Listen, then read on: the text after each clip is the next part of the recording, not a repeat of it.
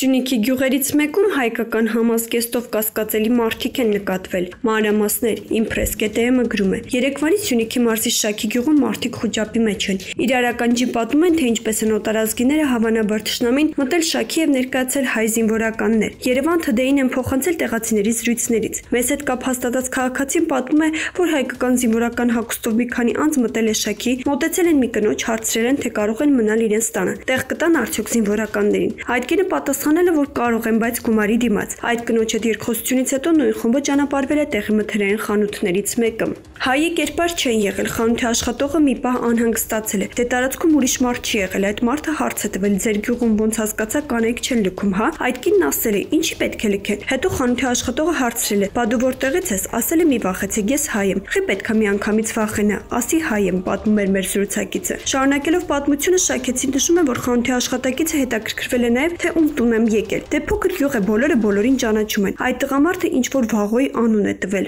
Մեկ այլ շաքեցի հավելում է, որ խանութի աշխատակիցը խանութ մտած տղամարդը քիչ հեռու այլ լեզվով է հարթակցում մյուսների հետ։ Այս կասկածելի դեպքի մասին խանութի աշխատակիցը շտապ ահազանգել է համայնքապետին։ Դրանից հետո եկել է ազգային անվտանգության ծառայությունը հավաքել տարել է։ Գյուղի ժողովրդին էլ ասել են եկել են մոբի համար հայ եմ, բայց ոչ մեկը չի հավատացել։ Մինչև հիմա ուրիշ տեղեկություն չունենք։ Պարզա ժողովրդին կհանգստացնեն, բայց ժողովրդն էլ հո ամեն ինչ տեսել է։ Նշենք, որ դեպքի հետ կապված փորձեցինք մեկնաբանություն ստանալ նաև Շաքիի համայնքապետից, սակայն համայնքապետարան մեր զանգերը մնացին անպատասխան։ Ազգային անվտանգության ծառայությունից եւս չպատասխանեցին մեր զանգերին։ Այս դեպքից հետո գյուղում վախի մտնոլորտ է, ինչը նաև բնական է։ Հաշվի առնելով օրերս ԱԺ նախագահ Ալեն Սիմոնյանի հայտարարությունը, որ Հայաստան դիվերսիոն խմբեր են ներխուժել։